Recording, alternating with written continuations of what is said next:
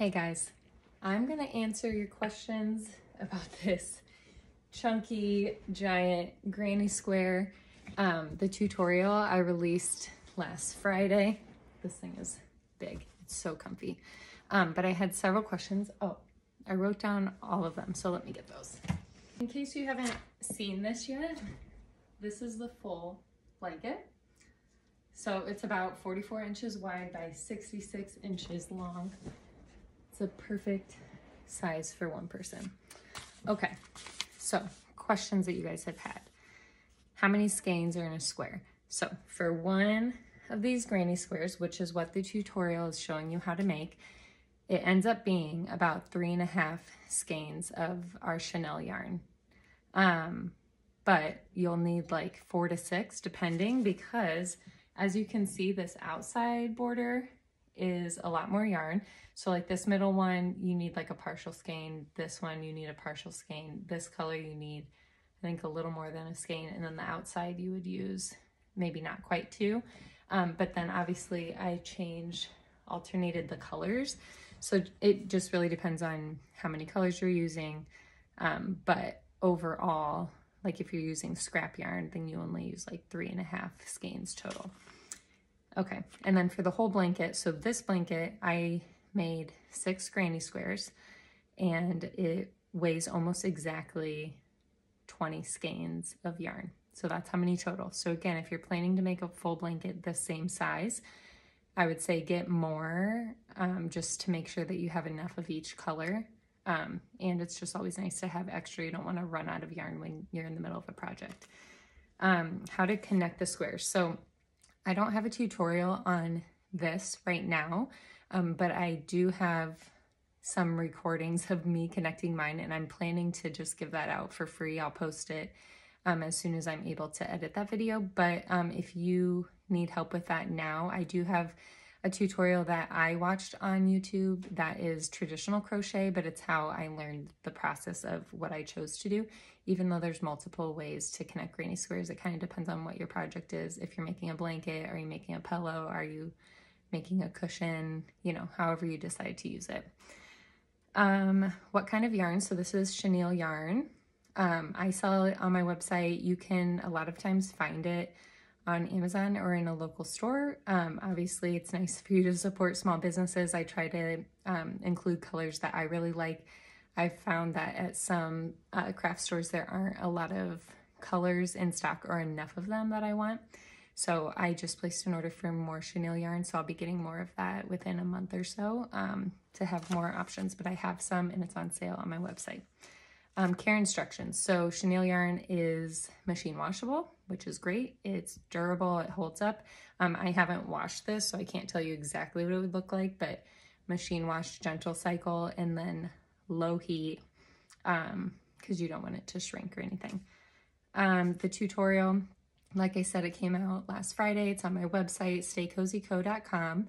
Um, I have a link on my page going directly to my website. Um, but if for some reason, if you're having a hard time finding it, a couple people have, just message me or comment and I'll send you the direct link. Um, will I make you one? Yes. Um, so these are custom order only. This is the only one I have ever made. And a lot of times, like with my stuffies in the past, even if it was my first one, like I didn't feel overly attached to it and I would sell it.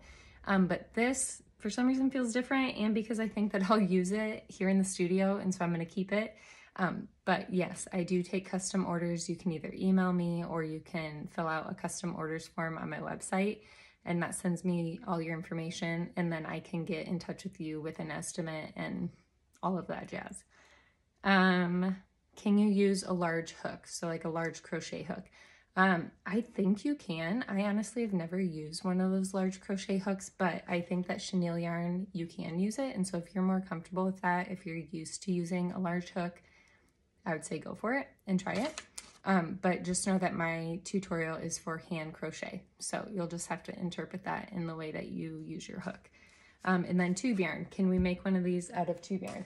The answer is yes, because the first granny square, the first uh, chunky granny square I made was actually tube yarn. Let me grab that. And it's so cool.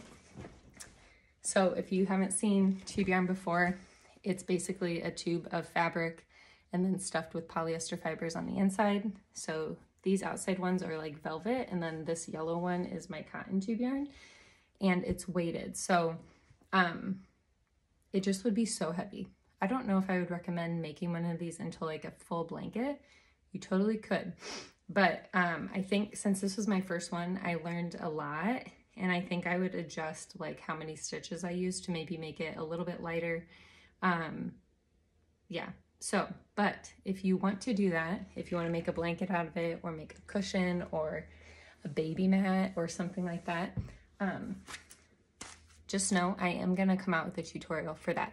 So I would say I, unless you feel pretty confident about um, interpreting and like changing some of the stitches and patterns, um, if you want to make one with tube yarn, I would say wait until I come out with that tutorial because you could buy the chenille yarn one now, um, but just like the number of stitches will likely be different because the tube yarn is thicker and like sturdier. And so I'm going to change up the way that I actually make the granny square. So it'll be a little bit different. Um, yeah, so I would just say wait. And then I think my last question was, is the tutorial good for beginners? Um, I would say that the Granny Square is like an intermediate project. It's taken me a while. I mean, I'm self-taught, so it's taken me years to finally get to this place where I could do the Granny Square.